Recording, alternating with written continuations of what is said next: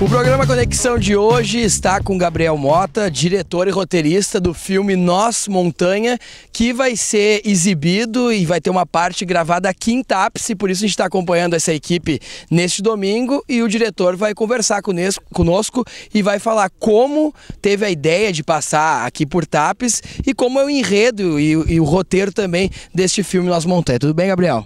Tudo bem, muito bom estar aqui em Tapes. É, eu já tinha vindo aqui algumas vezes, porque eu tinha uns tios que moravam aqui até há pouco tempo. E desde que eu vim aqui, visitei a Pinvest, visitei vários lugares da cidade, achei um lugar incrível, assim, pensei, nossa, alguém tem que fazer um filme aqui. Então estamos aí com uma equipe de Porto Alegre, uh, um filme que foi rodado lá, foi rodado em Viamão também, e agora a cena final vai ser rodada aqui em Tapes. Explica para nós um pouco de como vai ser esse filme, o enredo, a história, dá uma sinopse aí para nós do filme. Tá bom. Uh, é um filme sobre dois músicos irmãos que uh, estão durante o filme compondo uma música e Tapes é um lugar inspirador para um deles. A personagem vem para cá para compor essa música, traz o violão dela, senta na praia. Uh, e é um, eles têm uma conexão muito forte uh, através da música e aí rolam certos conflitos aí que são resolvidos também a partir dessa conexão musical entre eles. E aí Tapes entra em que parte nesse roteiro?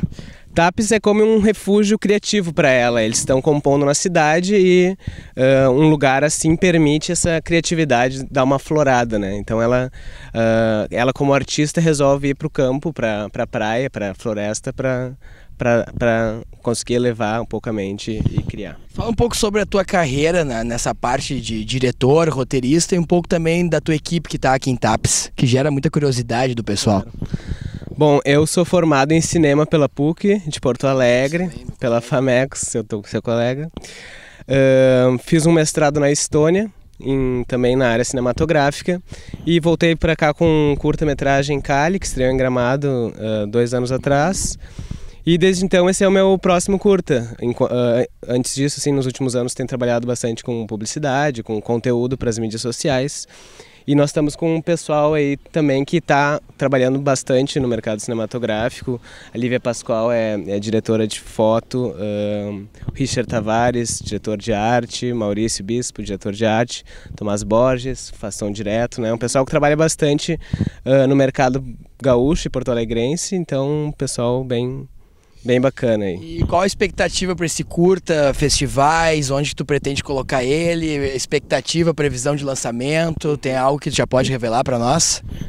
Bom, nós vamos estar trabalhando nele até o fim do ano para fechar ele, né? Depois dessa gravação, que é a última, a gente tem um processo de pós-produção e a partir disso a ideia é estrear ele em algum festival uh, de categoria alta, assim, né? Então vamos ver como ele vai sair.